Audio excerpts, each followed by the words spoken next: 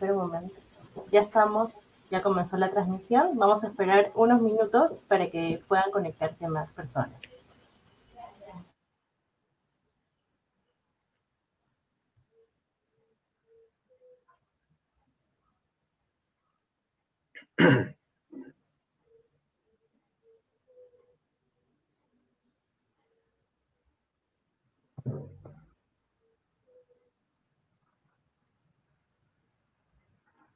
Tenemos un, un minuto para que, para que siga entrando la, las personas, se conecten, profesor. Perfecto. Esperamos entonces. Sí.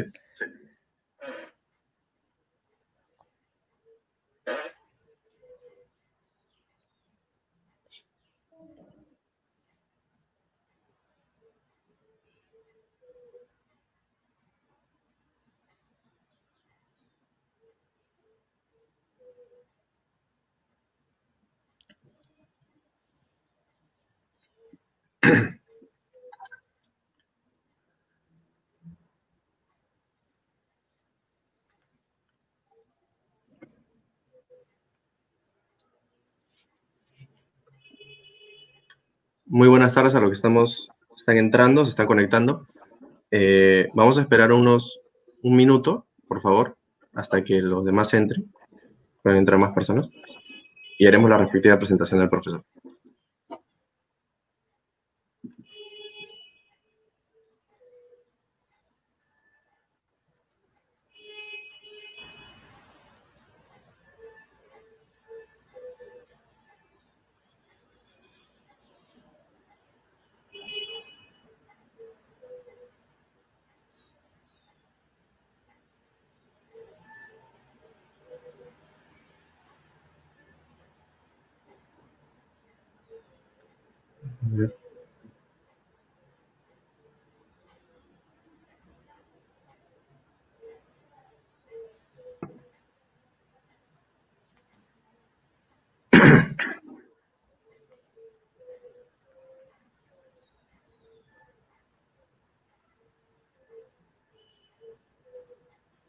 Ya, perfecto. Ya creo que ya, ya estamos.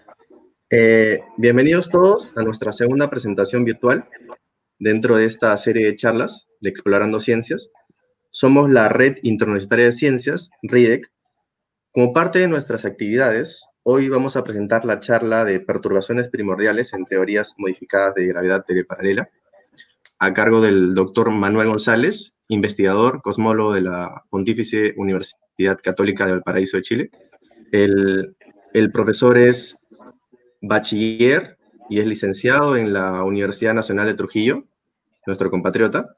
Es magíster en física en la Pontificia Universidad Católica de Valparaíso y también doctor en esta casa de estudios.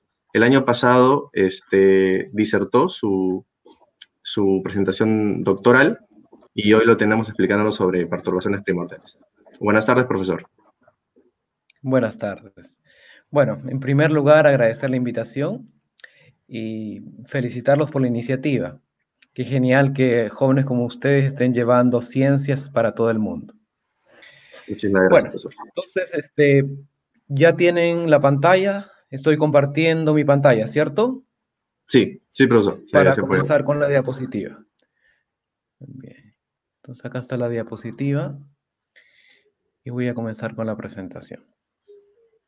Bueno, el día de hoy voy a hablar acerca de mi tema de investigación, que es teleparallel gravity o gravedad teleparalela, pero siendo aplicada a las perturbaciones primordiales. Principalmente trabajamos en la época de inflación. En esta oportunidad voy a centrarme en eso. Bueno, conocen mi nombre, Manuel González Espinosa, y los papers en el cual se basa esta presentación fueron hechos junto a Joel Saavedra, Giovanni Otalora y Nelson Videla, mi, asesor de tesis y mis amigos con los cuales trabajé en la, bueno, en mi, en mi tesis de doctorado. Por si acaso, para que quede claro eso, lo que voy a hablar el día de hoy ha sido publicado, es una investigación ya hecha en revistas internacionales. Entonces, la JCAP fue la última publicación que he tenido que justamente es lo que voy a hablar el día de hoy, el tema de inflación. Bien, entonces, ¿cómo va a ir esta charla? En primer lugar, la presentación. En la, introducción vamos a hablar sobre los problemas estándar de la cosmología, luego sobre cómo modificamos la gravedad y por último vamos a introducir lo que es gravity. Después hablaré un poco de la investigación que he hecho de forma más detallada. Entonces la idea del día de hoy es explicar lo que hice, pero siendo lo más didáctico posible. Entonces, primero, la cosmología. ¿Qué es la cosmología? La cosmología estudia nuestro universo, pero a escala muy grande.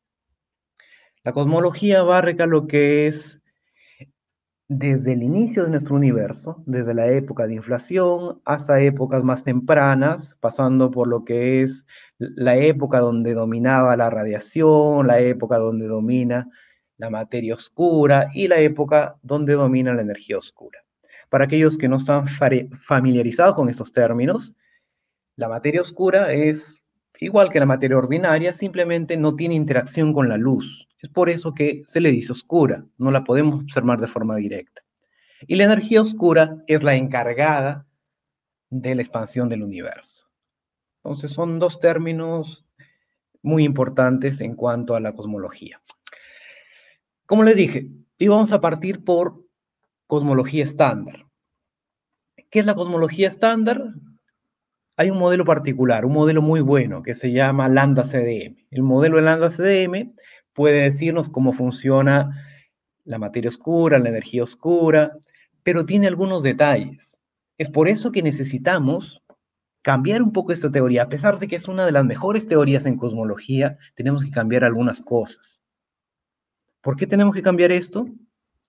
Bien, ¿cuáles son los problemas de la cosmología estándar? Primero, la época de inflación. En la época de inflación tenemos Primero, los problemas de ajuste fino. ¿Qué significa de ajuste fino? Que son, algunos consideran que esto es problema, otros dicen que no es un problema, que a lo mejor es como una casualidad, pero obviamente a los físicos no nos gustan las casualidades. Somos científicos, queremos que las cosas tengan un sentido. Entonces, primer problema de ajuste fino es el problema de planicie. ¿Qué significa el problema de planicie? Bueno, si nosotros medimos la curvatura del espacio ahora mismo, vamos a observar que el universo en sí es plano. Nuestro universo es plano. Pero esto tiene un pequeño problema. Utilizando el modelo estándar o lambda CDM, si nosotros cambiamos un poquito las condiciones iniciales, no vamos a lograr obtener un universo que sea plano. O sea, el modelo Lambda CDM puede conseguir un universo plano, pero tengo que tener condiciones muy, muy específicas. Entonces, alguien puede preguntar, ¿y por qué justamente esas condiciones? Bueno, eso no lo podemos responder porque es como que está ahí, es algo, un, justamente un ajuste fino. Otro problema, el problema de horizonte. En el problema de horizonte,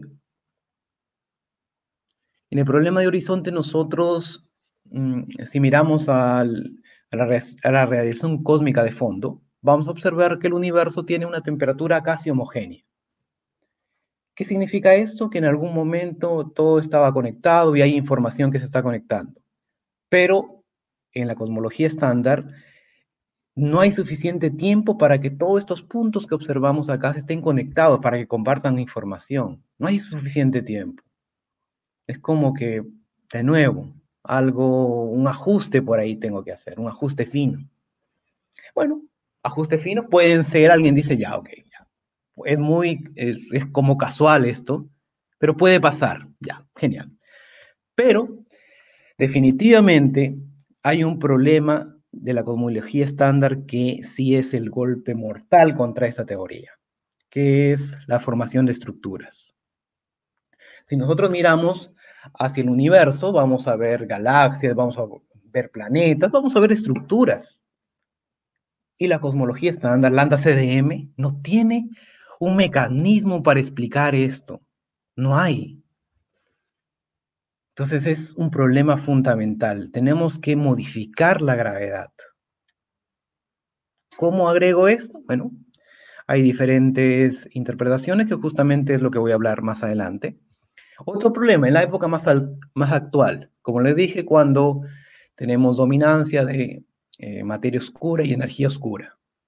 Si miramos hasta, perdón, si miramos hacia el universo, vamos a ver que el 73% de nuestro universo es energía oscura, eh, la encargada de que el universo se expanda, un 23% es materia oscura y el resto es materia ordinaria que nosotros conocemos. Muy bien.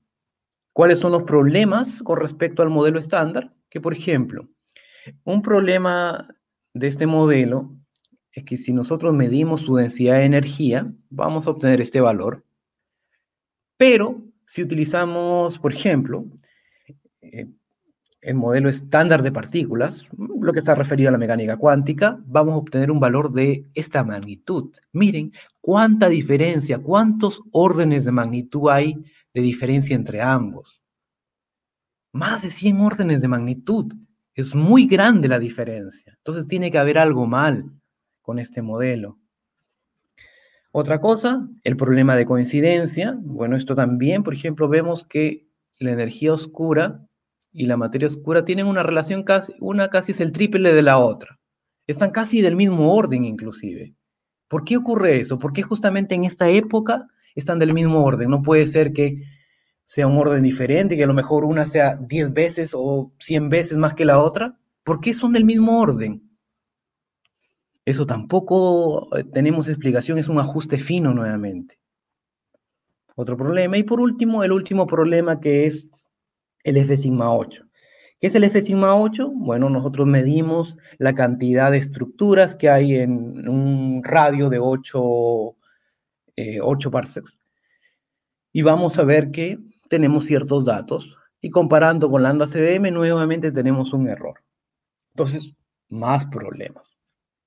Muy bien, entonces ya tenemos muchos problemas para este modelo que a pesar de que es muy exitoso, tiene algunas dudas.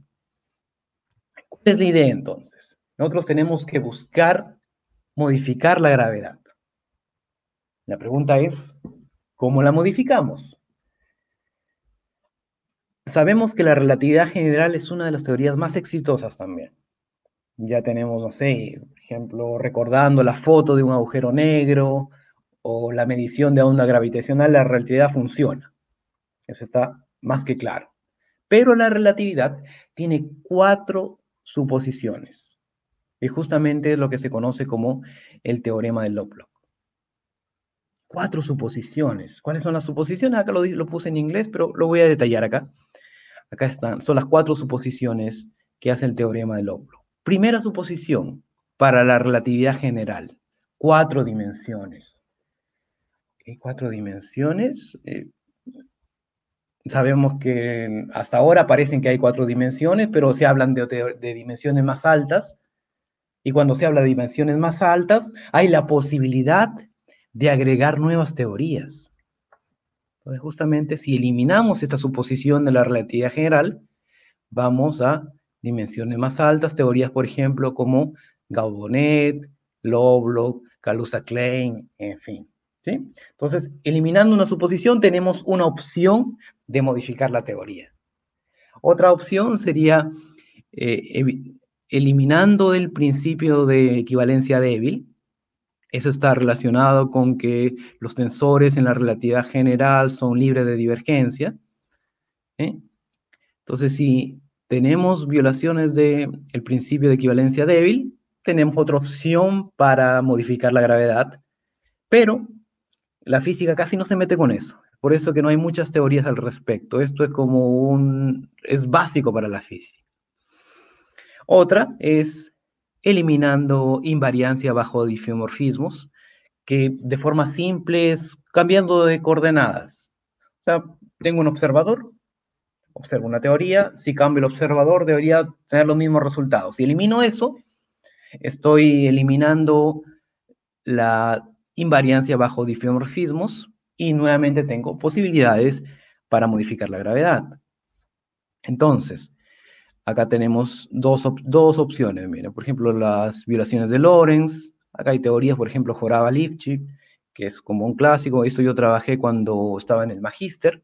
Muy interesante esa teoría. Después aparece la gravedad masiva también, donde ya el gravitón tiene cierta masa. Y por último, la última opción, la última suposición, materia clásica. ¿Qué significa con eso? Que mm, usualmente solamente consideramos la materia que vemos a nuestro alrededor, pero puede ser que se agregue algo más exótico. Por ejemplo, se puede agregar campos. Campos o se dice estoy agregando un grado de libertad extra. Entonces ahí es donde trabajé yo, acá en esta opción. Entonces agregando campos extra, ¿sí? agregando campos dinámicos, campos escalares, y acá está justo por acá, chiquitito, chiquitito está el, FET, el FET teoría. Entonces son, es una posibilidad.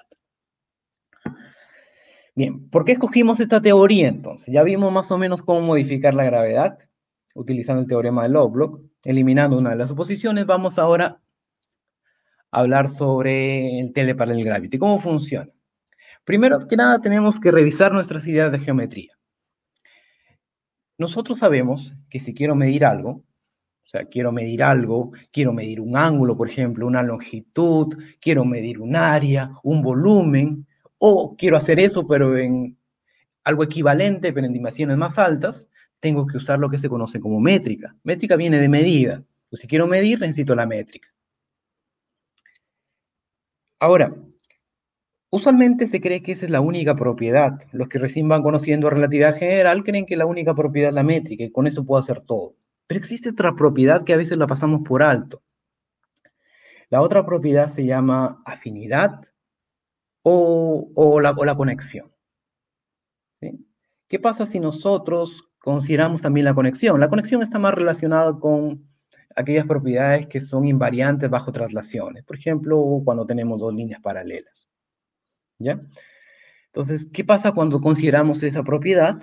Bueno, vamos a ver exactamente cómo funciona esto y por, qué lo vamos a considerar. Tenemos este ejemplo. Este ejemplo es como el clásico ejemplo para entender la diferencia entre la métrica y la conexión o afinidad. ¿Sí? Bien. Entonces tenemos que dibujar dos líneas estas dos líneas paralelas, la línea punteada y esta línea que está acá, la línea normal. ¿Cómo lo hago para dibujar? Bueno, una forma tanto complicada sería utilizar estas dos herramientas. Este compás y esta regla.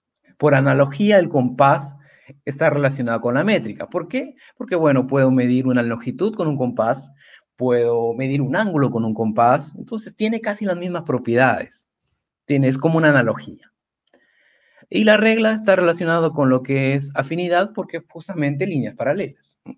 Ya. Entonces, mira, ¿cómo hago para dibujar estas líneas paralelas? Simple, comienzo con esta línea, utilizo la regla, obviamente, y dibujo la primera línea. Después utilizo el compás y hago un círculo. Un primer círculo, un segundo círculo, y después utilizo nuevamente la regla y hago la segunda línea y esa línea tiene que ser tangente a ambos círculos. Perfecto, conseguí dos líneas paralelas. Pero como pueden darse cuenta, esto es un tanto complicado, como que si quisiera matar una mosca con una bazooka. Entonces, es mucho trabajo, como que estoy utilizando de más herramientas. ¿Qué pasaría si lo quiero hacer más simple? Bueno, puedo utilizar la misma propiedad, es decir, esta regla, y comenzar, primero dibujo esto y utilizo una pequeña herramienta extra, esta cuña que está acá. Entonces pongo la cuña en esta posición, ¿sí? dibujo esta línea y pongo la regla acá. Comienzo a mover la cuña sobre esta regla, la comienzo a mover y la pongo en la última posición y dibujo la segunda línea. Y conseguí nuevamente dos líneas paralelas. ¿Y qué pasó? Conseguí dos líneas paralelas y no utilicé la métrica, no utilicé el compás. Entonces son como independientes esas propiedades. No necesariamente tiene que la métrica y la, eh, la conexión estar relacionadas. Puede ser que no, como vamos a ver ahora. Justamente en Tener para el Gravity cambia un poco eso. Bien, entonces vamos viendo algunos conceptos para entender cómo medimos la curvatura o la torsión, que es justamente de lo que se trata para el Gravity, en este tipo de teorías. Entonces veamos acá un ejemplo clásico. Acá tengo una superficie, una superficie, ¿ok? Entonces, si quiero estudiar una superficie, lo ideal es eh, comenzar a hacerla muy pequeñita, comenzar a estudiar punto por punto. Entonces, en un punto, si lo miro de muy cerca, puedo definir un plano tangente, es decir, un plano como que es conocido nosotros como un plano, mm, vamos a hacer una analogía, como un plano, un plano plano, sin curvatura, exacto, esa sería como la palabra. Entonces, para estudiar sus propiedades, justamente, tal vez la conocemos en cada punto. Entonces, defino un plano tangente. Un plano tangente. ¿Ya? Entonces, en cada punto estoy definiendo un plano tangente. ¿Qué pasa? ¿Cómo funciona esto de las propiedades? ¿Cómo yo sé que un espacio es curvo o no es curvo? Comienzo en este plano, ¿ya? En este plano tengo un vector A. ¿Qué sería este vector A? No sé, lo que a usted se le ocurra, puede ser una velocidad, una posición, un desplazamiento, algo así. Entonces, es el desplazamiento A. Pero este mismo vectorcito puede estar también en este punto, en este otro plano tangente, y lo estoy representando con esta flecha roja. Entonces, tengo dos vectores, o mejor dicho, el mismo vector en dos puntos distintos, en este plano y en este plano tangente, en dos planos diferentes. Ya está. ¿Cómo hago la comparación? ¿Cómo sé si efectivamente esto es curvo, la superficie en general? Porque estoy mirando punto por punto y en punto, en cada punto observo planos tangentes nomás. ¿Cómo sé? Ah, bueno, entonces tomo este vectorcito, lo muevo al segundo plano tangente y comparo con el vector rojo que estaba ahí. La diferencia entre ambos es justamente esta expresión, este, D de A. ¿sí? Es como un diferencial o un cambio en ese vector. Ya está. Vamos observando cómo cambia. A este cambio, a este movimiento, es que lo que se conoce como transporte paralelo. Entonces, si usted quiere estudiar relatividad general, necesariamente tiene que haber escuchado ese término transporte paralelo. Y el transporte paralelo, más que todo, se refiere a cómo se comparan vectores en dos planos tangentes. Ya está. Entonces, como pueden ver, este cambio en este vector A está relacionado con nuestro, nuestra propiedad que estábamos hablando, nuestra afinidad o conexión. Ahí está, miren. Esa regla que habíamos dibujado antes es esto. Así lo podemos entender, esta regla. Y fíjense que apareció esta conexión y yo ni siquiera hablé de métrica. Usualmente cuando hablamos de relatividad general en los cursos iniciales, comienza con la métrica, pero acá yo introduje este término y ni siquiera hablé de métrica. Ya, entonces ya vimos cómo hacer la comparación entre dos planos tangentes. Después vamos a ver cómo sé que una superficie es curva. Entonces yo hago un transporte paralelo, tomo este vector A, lo muevo, miren, lo comienzo a mover, lo transporto paralelamente hasta el mismo punto. Y al transportarlo paralelamente, si es que hay una diferencia entre ambos, automáticamente yo voy a obtener curvatura. ¿Sí? Si hay una diferencia entre estos vectores, desde el vector inicial hice el transporte paralelo, ya al llegar acá se movió, ahí podemos ver que hay curvatura. Y esa curvatura está relacionada con este término que se llama el tensor de Riemann, que nos dice si el espacio es curvo o no, o si no, con este otro término que habíamos dicho, que era la conexión. Ya, entonces hablamos de curvatura, genial, eso ya se conoce, pero ahora vamos como lo nuevo, la torsión. Esto es nuevo, sí. Esto no se no, la mayoría no trabajan con torsión, algunos como que le tienen miedo a la torsión, que es una propiedad diferente. Entonces, Comenzamos en este punto, en este punto inicial, y tengo dos vectorcitos, el vector U1 y el vector U2. ¿Qué pasó con estos vectorcitos? Comienzo a hacer un transporte paralelo, lo que les mostré antes. Entonces lo transporto paralelamente ¿sí? hasta otro punto, lo transporto paralelamente hacia el mismo punto, este mismo vector 2. ¿Y qué sucede? ¿Qué pasa si hay torsión? Si aparece torsión, hay un gap, un gap o un espacio entre esos, ambos vectores. Si no hay torsión, simplemente es como un paralelogramo. Se cierra esto, no, no existe. Pero si aparece torsión, si esa propiedad existe, va a aparecer este, esta propiedad. ¿Ok? Este T que está ahí. Entonces, esta torsión está ahí y vemos la diferencia entre las conexiones que mostré al inicio. ¿Qué pasa en relatividad general? Lo clásico. Esta expresión es simétrica, miren, es que si cambio el lambda y el rho de posición, estos dos van a ser iguales, por lo tanto la torsión es cero. Mm, es por eso que no aparece torsión en relatividad general. Es correcto. Pero algunas teorías no consideran que esto es simétrico, que puede ser que yo cambio el rho y el lambda y no, y no son cero, o, estos, o no son iguales, mejor dicho. Por lo tanto, aparece torsión. Bien, pero veamos a detalle cómo funciona esto. Ya habíamos hablado de dos propiedades, de lo que es la conexión y la métrica, que está, miren. Conexión y métrica. ¿Qué pasa si ambas eh, son distintas de cero? Eh, me refiero a la torsión y la curvatura.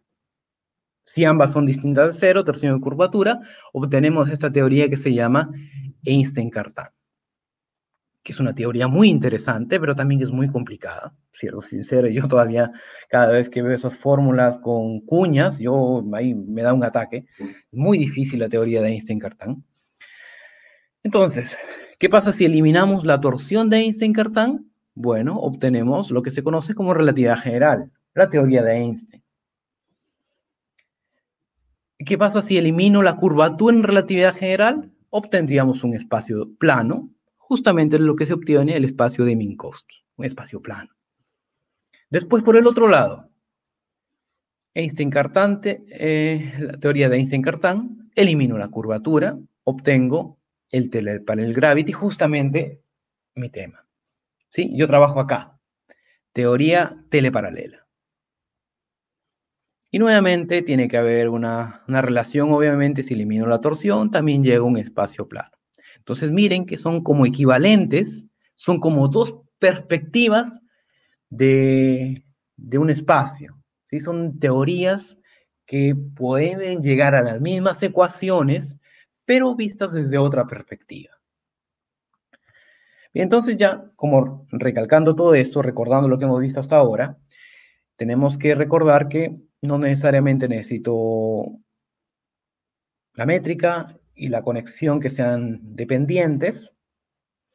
A veces pueden ser independientes. Puedo cambiar la conexión también en algunos casos, como en el caso de justamente del el Gravity, donde la conexión es una conexión de Weisenbach, así se llama la conexión, donde justamente la curvatura es cero. Entonces vamos recalcando eso porque es muy importante. Conexión de Weisenbach, curvatura cero. Y la de relatividad general, de Einstein, Levi Civita, torsión cero. ¿Ya? Entonces son como dos ramas de Einstein-Cartan, una teoría más complicada. Y si alguien trabaja en teoría de Einstein-Cartan, felicitaciones porque eso de verdad que es muy complicado. Todavía cada vez que veo esas ecuaciones sufro.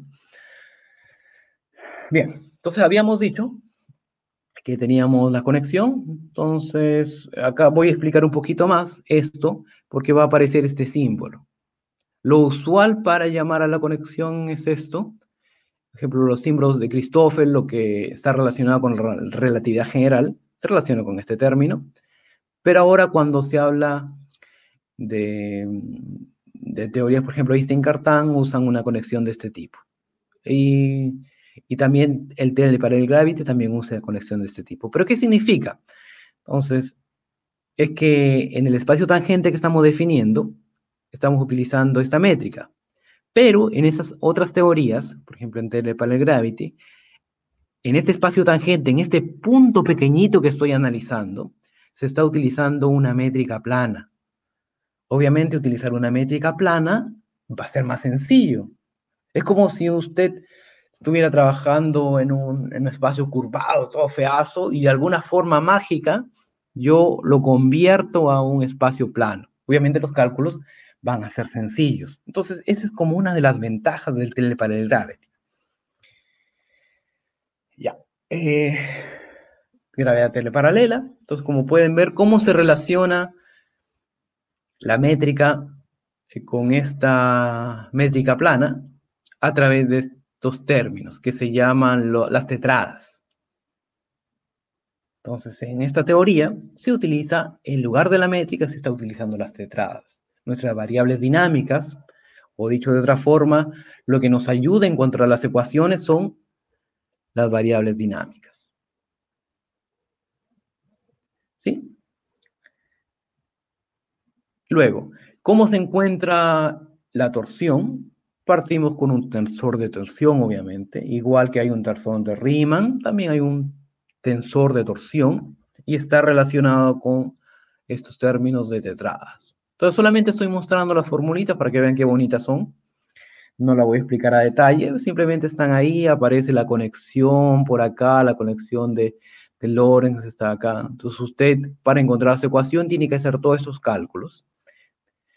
Inicia con una métrica, encuentra la tetrada y la tetrada la va reemplazando acá. Y por último encuentra esta ecuación. Entonces, para utilizar, para llegar a las ecuaciones de Einstein necesito el escalar de curvatura. Eso es como conocido. Nosotros variamos el escalar de curvatura y encontramos ecuaciones de Einstein. Pero cuando hay conexión, o mejor dicho, cuando hay torsión y cuando hay curvatura, este escalar, miren, es muy grande y tiene ambos. Tiene una parte que es netamente torsión, o netamente curvatura, perdón, acá. Esto es netamente curvatura y otra parte que es netamente torsión. ¿Y cuál es la característica del teleparallel gravity? Que la curvatura necesariamente es cero. Ah, entonces si la curvatura es cero, este término R va a ser igual a cero y entonces encontramos esta relación. Esto es lo de Einstein el término que utiliza Einstein para encontrar sus, o que perdón, encontrar sus ecuaciones, y está relacionado con este escalar de torsión. ¿Cuál es la diferencia? Bueno, obviamente el signo negativo y además este término que se conoce como un término de borde, que para algunos casos el término de borde simplemente se va y llegamos a las mismas ecuaciones de relatividad general, pero, por ejemplo, justo lo que les estaba explicando, tenemos la acción desde el gravity. ¿Qué es la acción? Es de forma muy sencilla. Nosotros en física siempre seguimos el principio de mínima acción, que me dice que los cuerpos tienden a ir por los caminos más sencillos, de forma corta, simple. ¿Ya? Y este, ese principio de mínima acción nos sirve para encontrar las ecuaciones, ¿ok? para que no se me pierda. Entonces, tengo esta ecuación y después usted sabe la relación con relatividad general, la que mostramos antes. Entonces reemplaza únicamente la relación y tiene esta ecuación. ¿Cuál es la diferencia? Como les dije, los términos de borde.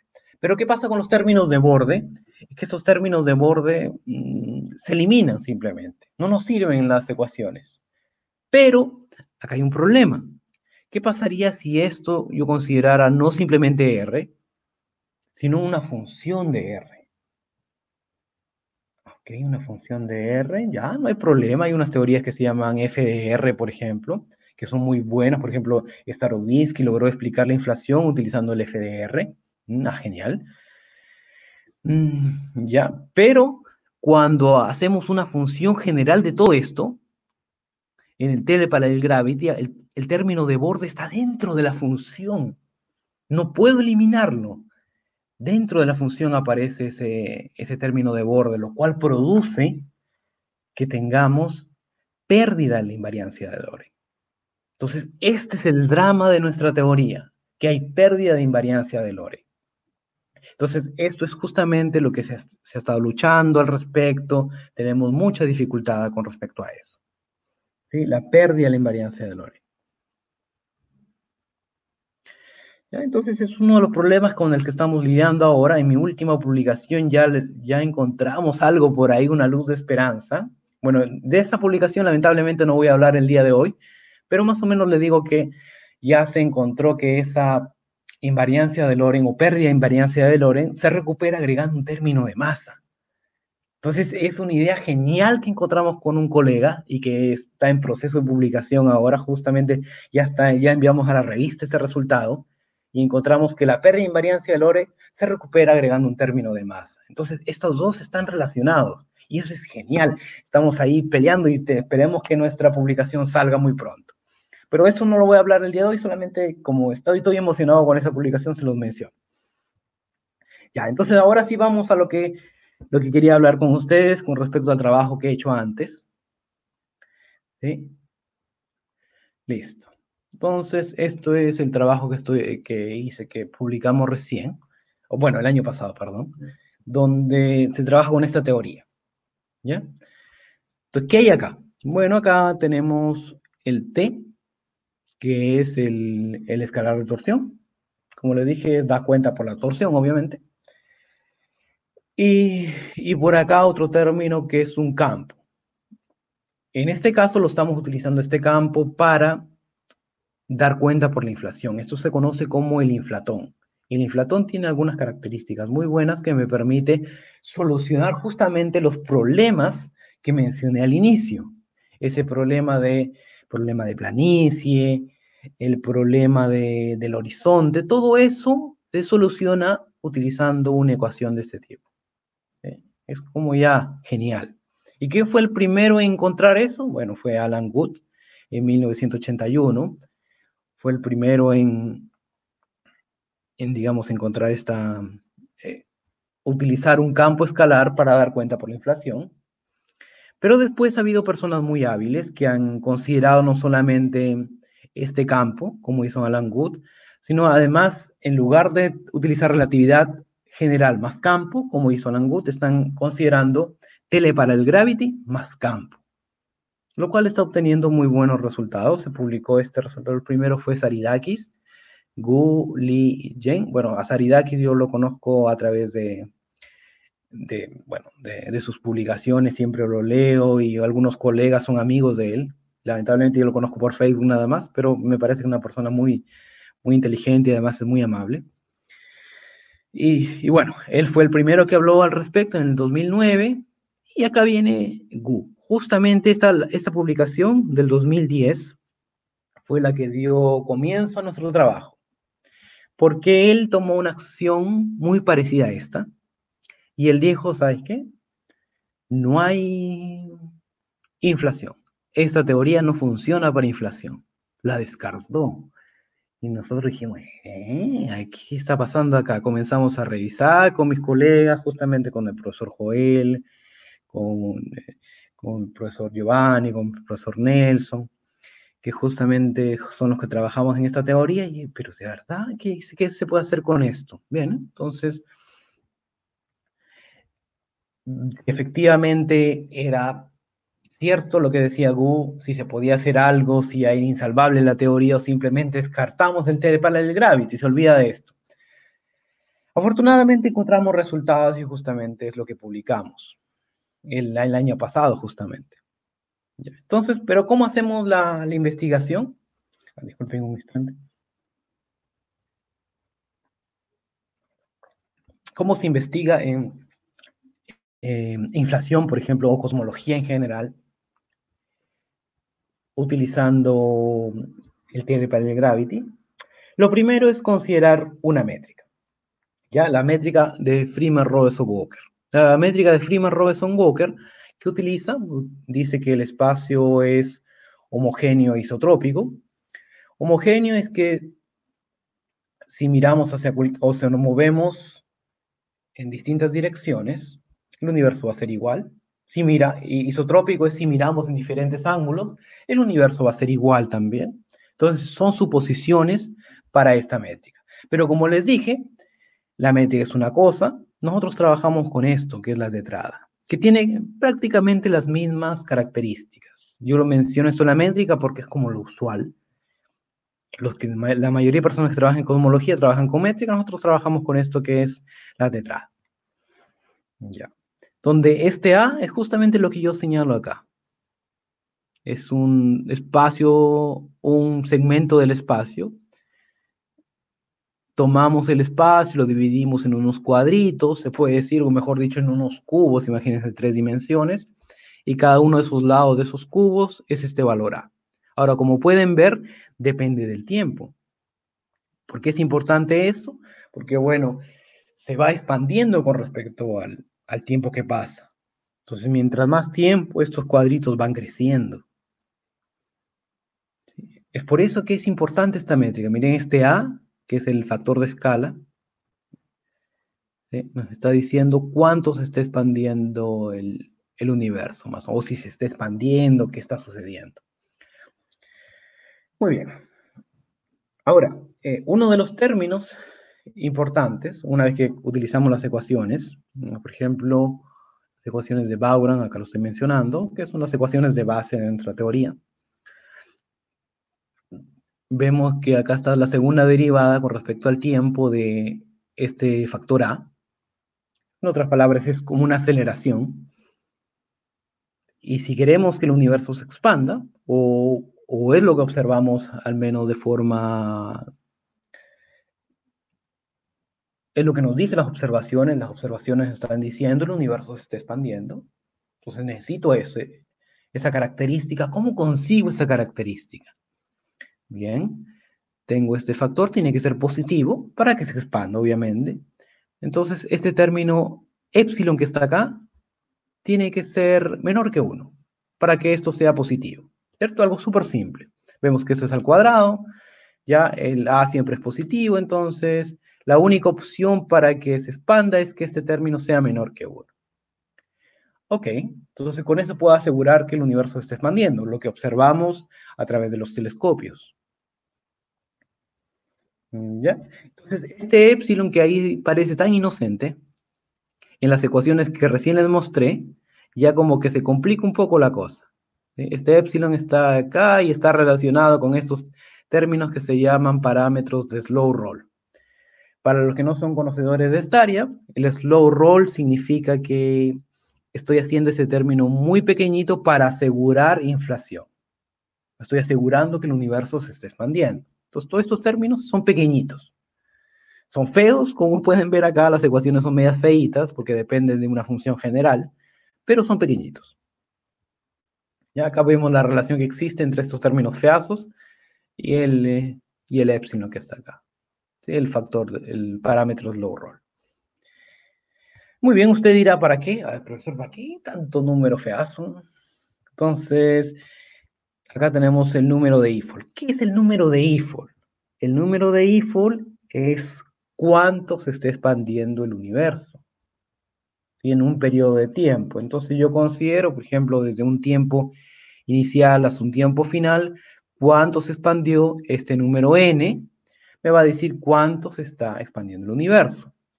Pero la radiación cósmica de fondo nos dice un valor fijo, nos dice que esto es conocido, que el número de Eiffel, para observar justamente la cantidad de información conectada, o mejor dicho, observamos a la radiación cósmica de fondo y todos casi tienen la misma temperatura, de alguna forma están conectados.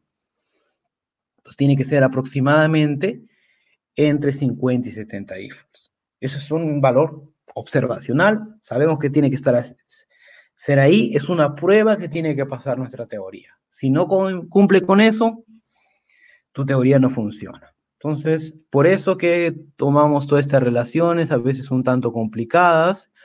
¿eh? Entonces, hacemos esta aproximación y esta aproximación nos sirve para encontrar más o menos el número de Eiffel. Esa aproximación la hacemos para facilitar un poco los cálculos. Decimos, estos términos son pequeñitos y efectivamente para hacer este cálculo. Muy bien.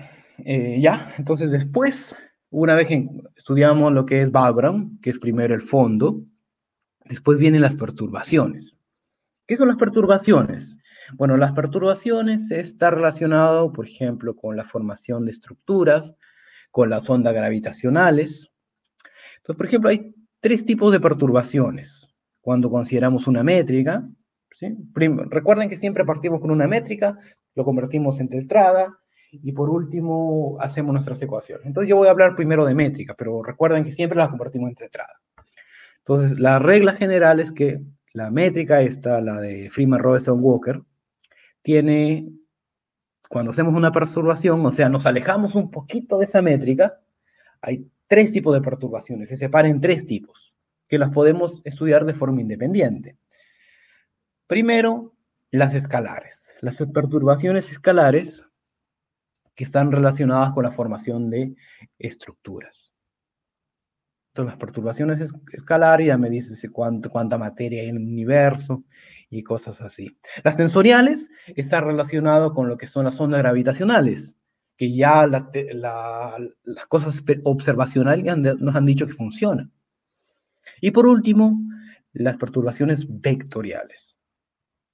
Las vectoriales, bueno, las vectoriales no se consideran porque al menos en todas las teorías que yo he estudiado, mm, siempre tienden a, a converger. Entonces se vuelven cero. Entonces no, no, no, hay, no hay interés en la parte vectorial, solamente la parte escalar y la parte tensorial. Esos son de interés. Entonces, ¿qué hacemos acá? Usualmente como son muchas eh, observaciones, lo que se hace es calcular como un promedio. Entonces, ese promedio está relacionado, como les dije, ese promedio, por ejemplo, en la medición de la perturbación escalar, está relacionado con este término, que este término es algo ya observacional, se puede calcular, es el power spectrum.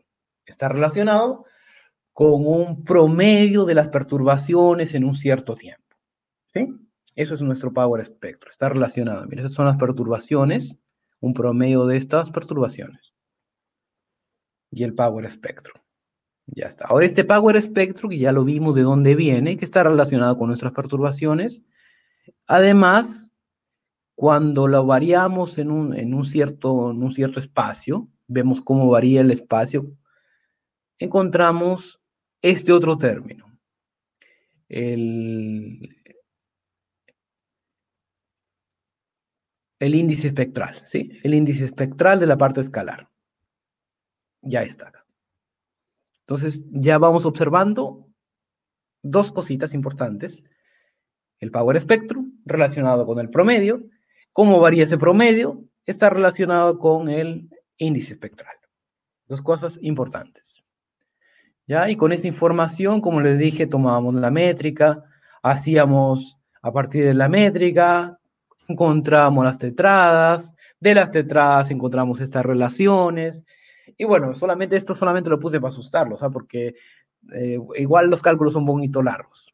Pero ¿qué nos interesa a nosotros? Una vez que hacemos todos esos cálculos, ya una vez que ya peleamos con esas ecuaciones feasas, listo, llegamos hasta esta acción. Sí, en, esta, en esta acción, que es justamente lo que a mí me interesa. ¿Cómo se está comportando la perturbación? vemos que esta perturbación tiene una forma conocida. Si usted encuentra sus ecuaciones, va a ser una ecuación tipo onda. Ah, tipo onda, qué interesante, se comporta como la luz. Efectivamente, se comporta como la luz esta perturbación. ¿Ya?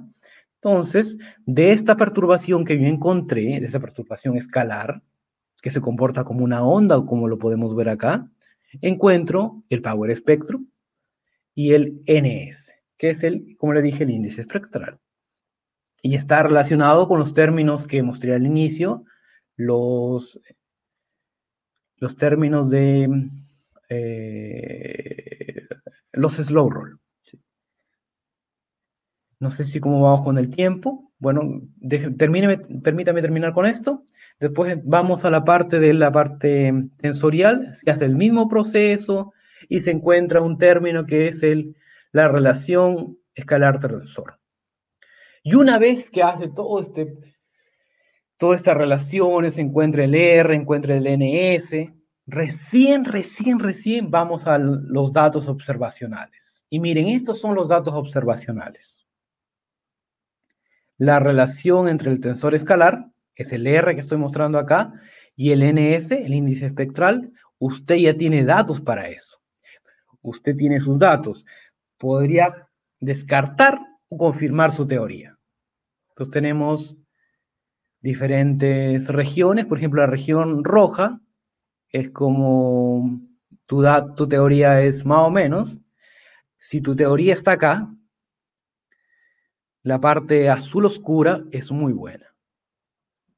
Entonces, por acá, el R cuadrado, justamente el Starobinsky, que yo tuve la oportunidad de conocer a Starobinsky cuando estuve en China, profesor muy amable también. Acá está, el Starobinsky. Entonces la teoría de Starobinsky es muy, muy buena, la región azul. Entonces, permítame mostrarles como último, porque parece que ya estamos en el tiempo, nuestro No se preocupe, profe, este, puede, puede continuar, puede continuar. Tenemos tiempo todavía. Sí, eh, igual ya estoy terminando, esto sería como lo último, esto es nuestro resultado ya. Ah, ya, perfecto.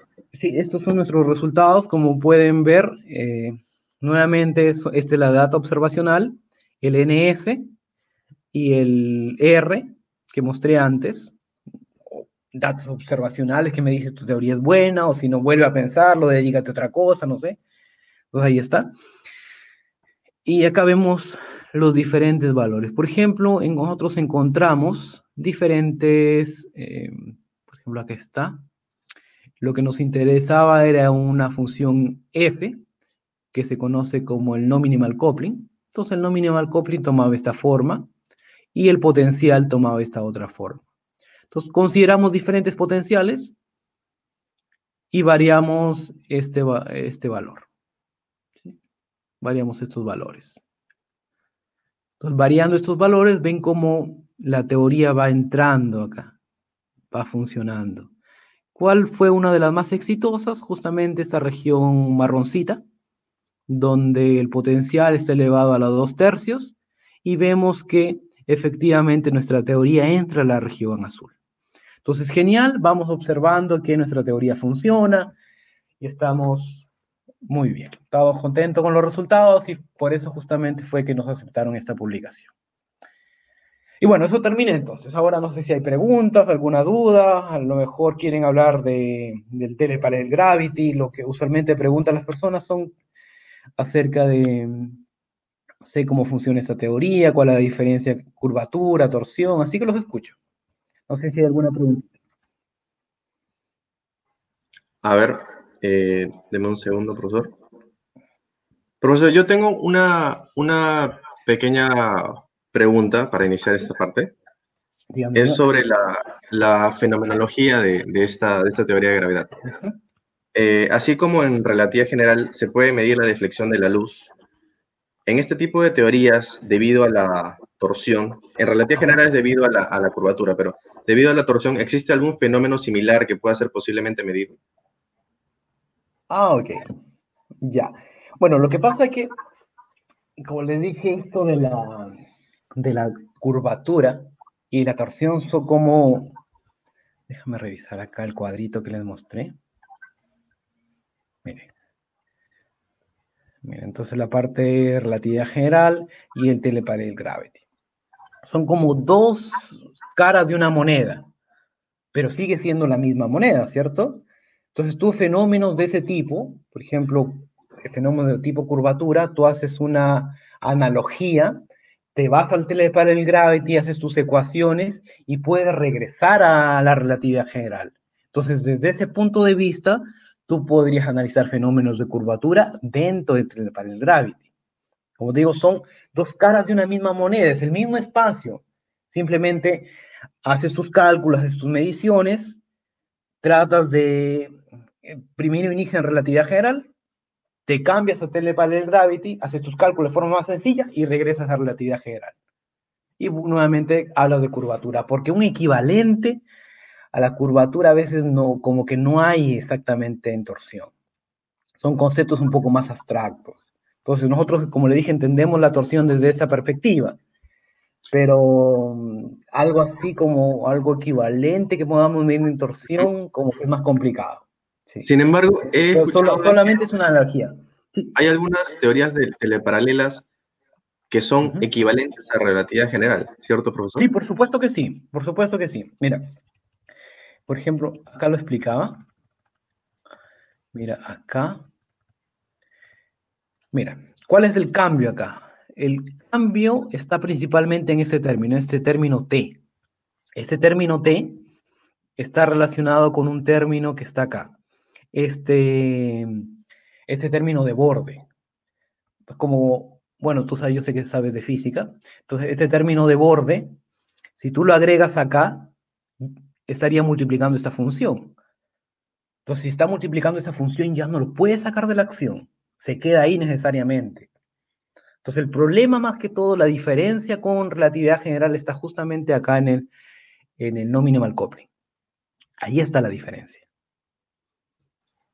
Ahí, ah, ahí puede haber el cambio. Después, por ejemplo, si tú no tienes este cambio, si tú no tienes este término que multiplica al, escalar de torsión, automáticamente es lo mismo. Relatividad general y T para el gravity es lo mismo. Por eso te decía, tú puedes hacer tus mediciones en relatividad general, lo entiendes desde esa perspectiva, vas a tu métrica acá, utilizas las tetradas, por ejemplo, haces tus cálculos más simples y regresas a relatividad y listo. Es como si fuera una especie de programa que te permite hacer las cosas más sencillas. Así lo podríamos entender el Telepalette Gravity. Profe, acá tenemos otras, otras preguntas del chat en Facebook. Eh, nos preguntan, ¿la conexión en gravedad teleparalela es única? Y si existen evidencias físicas de la torsión. Ya, a ver. Me preguntan si la conexión en teleparalel gravit es única. ¿Cierto? Esa es la pregunta. Y si hay, si, hay evidencias físicas de la torsión. Ya, ok, ok, ok, ok. Entonces, permítame buscar este cuadrito. Acá está. Este cuadrito me encanta porque es muy bueno. Ahora, ¿cuándo la conexión no es única? ¿Cuándo podría tener como variable ambas ecuaciones? Miren, Ambas ecuaciones podrían ser variables en el caso de Einstein-Cartan. En el caso del teleparallel gravity, la única conexión es la conexión de Weisenbach. La única conexión que hay físicamente. ¿Ok? No hay otra conexión. En otras teorías, por ejemplo, en Einstein-Cartan, sí, sí, ahí sí puede haber diferentes conexiones para una sola métrica. O también hay otras teorías que se llaman, oh, no me acuerdo el nombre, por acá está. A ver, otras teorías, por ejemplo, Palatini. Palatini tiene ya, no tiene una conexión única. En esos casos sí, son más, más posibles conexiones, pero no, en relatividad general y en, y en teleparallel gravity no hay, solamente son una sola, una sola conexión para ambos. Con la única característica, por ejemplo, en relatividad que la torsión es cero y el Weisenbach también es, cero. Ahora, la, misma, la, misma sí, la misma persona, Raúl este, Quicaño, nos, nos pregunta, nos dice, ¿existen evidencias físicas de la torsión? Sí, justamente, justamente, ahí, ahí va, todavía no terminaba. sí le entendí la pregunta, sí le entendí. ¿Existen evidencias físicas? Mm, a ver, una evidencia física de la torsión. Bueno, siendo totalmente sincero, no hay evidencias físicas de la torsión. Así que yo te diga un experimento, con ese experimento vas a medir la torsión. No, no, no hay un experimento físico. Pero, al menos de manera directa, tú puedes ver qué relación hay entre la curvatura y la torsión. Entonces, si tú mides curvatura en un espacio, haciendo una transformación netamente matemática, tú sabes que hay también torsión. Es como una, como le dije, dos mismas caras de una moneda. Torsión por acá, curvatura por acá, tú lo cambias y es casi lo mismo. Eso. Ya, perfecto, Si alguien me dice, ¿cómo mido la torsión así físico? No, no puede. O sea, ¿cómo podría medirse? Sí, justamente a través de este ejemplo que estaba dando acá. Haciendo esto. Y esto lo podrías a lo mejor reemplazar. Imagínate que lo reemplazas con dos lápices. Entonces tú tienes dos lápices. No sé si me ven la cámara. Sí, sí, sí, sí, se ve. Esto no tengo lápices, acá tengo un par de cucharas, ¿no importa? ah, no, sí tengo lápices por acá. A ver. Eh, ah, sí, no, sí tengo lápiz. ¿Cómo voy a sacar una cuchara? A ver, acá está un par de lápices. Ya, entonces, este ejemplo, miren. ¿Sí me están viendo ahí? Sí, profe, sí se ve. Ya, entonces acá. Pues fíjense, voy a hacer el mismo ejemplo que está en el... Pero también están viendo el PPT, ¿cierto? Sí, se ven los... Ya, ya. Entonces, como pueden ver, en el caso de que hubiera un espacio contorsión, ¿sí? ¿Cómo podría medirlo de forma directa? Tomamos este lápiz, imagínense que, no sé, es un, un objeto más grande, obviamente, y hacen esto, hacen este cambio, lo que estoy mostrando ahora parten como un paralelogramo y lo muevo así. Obviamente en nuestro espacio no hay torsión, entonces no pasa nada. Pero si hacen este mismo experimento, este mismo experimento en un espacio con torsión, netamente con torsión, observarían que estos dos lápices, este lápiz y este lapicero se van a separar. Eso es lo que debería observar usted en un espacio con torsión. Eso, por ejemplo, así. Eso podría ser la opción de, hacerlo, pero que se haya hecho de forma experimental, no. No, no, no puedo decirte un satélite ha hecho eso, no. Claro. Eso. Eh, Nel Serna nos pregunta, ¿Teleparallel Gravity podría explicar si el universo es hiperbólico, esférico o plano de forma indirecta? Eh, podría ser hiperbólico plano, a ver. Mm, bueno. Así es que podemos derivar de repente la geometría, ¿no? De, a partir de la... En, este caso no, no se va a poder, definitivamente no se va a poder, porque al menos en estas teorías nosotros partimos de, por ejemplo, de esta métrica. A ver, ¿dónde está la métrica? A ver, mm, déjame mostrarte la métrica. Acá está. Ahí está la métrica. Mire, esta es nuestra métrica. Esta métrica automáticamente está asumiendo que el universo que yo estoy estudiando es un universo plano. Entonces, parto desde esa definición. Al menos la teoría que yo estudié no te va a decir si el universo es, eh, si es este, hiperbólico, esas cosas. Definitivamente la respuesta es no. Ya, claro. Gracias, profesor. Ahora de esa suposición. Eh, Marco Espinosa nos pregunta, ¿tenemos soluciones de agujeros negros en gravedad teleparalela, en cuatro dimensiones o en dimensiones mayores?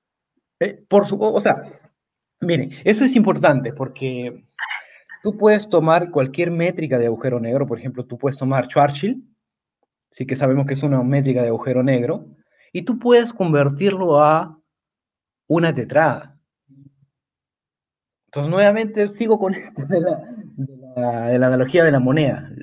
Es prácticamente equivalente. Entonces, tú tomas, un, por ejemplo, un agujero negro, que sería Schwarzschild, y encuentras su tetrada. Entonces, sí, sí puedo trabajar con un agujero eh, tipo Schwarzschild. ¿Puedo trabajar con un agujero esféricamente simétrico? También se puede hacer eso. Tomo ese agujero esféricamente simétrico, encuentro su tetrada. Entonces tú, cualquier tipo de agujero negro con el que trabajes, siempre vas a llegar a una tetrada. Entonces, sí, sí se puede definitivamente. Si podemos estudiar agujeros negros con esta teoría. ¿Dónde está la característica? Como digo, la primordial diferencia no está tanto en la métrica. La, métrica puede ser cualquier métrica, como les menciono, pero la diferencia está acá. Acá, acá. Justamente que nuestra teoría cambia nuestras ecuaciones, las cambia, pero pierde, por ejemplo, la invariancia de Loren. Eso es una de, las dificultades. Pero, por ejemplo, gana otra cosa. Por ejemplo, gano grados de libertad o a veces consigo teorías más estables, en fin. Entonces, esto como, esto de la acción es muy útil porque te da una libertad muy grande. Entonces, respondiendo nuevamente la pregunta del, del, bueno, del que está preguntando, eh, efectivamente, podemos encontrar agujeros negros en esta teoría, definitivamente que sí. Y solamente tengo que encontrar sus tetradas y comenzar a trabajar. Claro, claro, sí tiene, tiene razón, profe. Eh, ahora, Martín nos, nos pregunta, Martín Arteaga, nos pregunta si es que existe algún fenómeno medible que pueda ser explicado solo por torsión argumenta de que muchos de los efectos que predicen las teorías de, torsión pueden también ser explicadas con la relatividad general sin torsión. Sí, definitivamente. Como le dije, la torsión es prácticamente lo mismo que la relatividad general. Es muy, muy, muy parecida. Como te digo, es como una, algo un poco más abstracto nada más, una simplificación de las ecuaciones. Inclusive, ¿quién fue la primera persona en, en mencionar esto? Fue obviamente el gran Einstein. Entonces Einstein fue el primero que nos mencionó el el gravity como una simplificación de la teoría, pero es prácticamente lo mismo. Entonces, no sé si podría eh, repetirme la pregunta, por favor, para contestar nuevamente, por favor. Claro. Eh, este, Martín nos dice si es que existe algún fenómeno medible que pueda ser explicado solo por, por la torsión. Creo que más o menos eso es lo que comentaba hace un rato sobre... No, no, o sea, por ejemplo, por ejemplo, hay, hay, hay, que, hay que hacer acá, eh, hay que recordar algo importante, que a veces hay muchas personas que confunden la torsión que nosotros trabajamos con la, con la torsión que se utiliza para, para Einstein-Cartan. Entonces, en esos casos, para Einstein-Cartan, la torsión que ellos encuentran, la conexión que ellos utilizan, ya está relacionado, por ejemplo, con el spin de las partículas. Entonces, son teorías en realidad interesantes también, obviamente. Pues, por ejemplo, pero ese es otro tipo de torsión. Entonces, como que no, no está relacionado con nuestra teoría. Entonces, la teoría que les expliqué acá más está relacionado solamente con cosas netamente geométricas. Por ejemplo, ya cosas más, más complicadas como spin, lo que hace eh, Einstein-Cartan, nosotros no nos metemos con eso. Mm, eso. Ah, ya, ya, ya. Claro, la pregunta de Martín era, ¿no? Sobre que hay, hay fenómenos que pueden ser este, explicados con relatividad general sin torsión y creo que él quería saber más si es que había un experimento directo solamente desde la parte... Como dije lo, que expliqué, lo que expliqué antes. Entonces, por ejemplo, el experimento que les expliqué a través de, los lápices es como lo más, lo clásico que puede explicarles, al menos con estos conceptos. Después, un experimento que yo sepa, utilizando satélites, cómo se podría medir la torsión, no.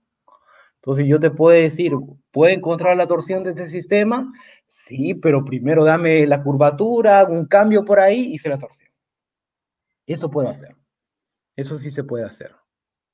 Perfecto, profe. Es como esto de acá, la tele para el Gravity es una herramienta para trabajar con relatividad general, pero de forma más sencilla. Claro. Bueno, Profesor, creo que ya este, hemos cubierto las, las preguntas que, que, teníamos en el, en el chat. Agradecemos bastante su, su, participación y el apoyo que nos ha dado, nos ha brindado hoy por, por, su ponencia. De verdad, muchísimas, muchísimas gracias.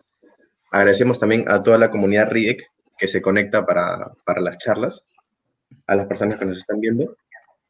Eh, para recordarles que estén atentos a nuestras páginas, a nuestras redes sociales, porque vamos a seguir haciendo charlas en el mes de julio y agosto. Obviamente las charlas van a ser virtuales debido a la, pandemia. Y como, como ven el flyer, la convocatoria para, para pertenecer a RIEC es hasta el día 27 de junio, es el término de la convocatoria. Tienen toda esta semana todavía como para poder eh, llenar el formulario que está en nuestra, en nuestra página de Facebook. Bueno, bueno, entonces este, agradezco a todos los que, a todos los asistentes y bueno, especialmente a usted, muchas gracias por la invitación, fue un gran agrado estar acá con ustedes, compartir lo, poco que uno sabe y las investigaciones que uno está haciendo. muchas gracias. Espero que más adelante, cuando tenga alguna nueva publicación, me vuelvan a invitar, para mí será un gran gusto. Como le dije, estamos trabajando en esta teoría un poco más en esta que, que ya corrige el error del teleparalel gravity y con eso ya sería algo importante, que quizás me gustaría hablar de eso más adelante. Nos encantaría. muchas gracias, por la, muchas gracias, por la invitación. Hasta luego, entonces. Y felicitaciones por, este, por esta iniciativa, obviamente. Muchas gracias, profesor. Gracias y nos vemos en próximas este, versiones de, de la charla. Ok, hasta luego entonces. Cuídense. Chao, chao. Gracias.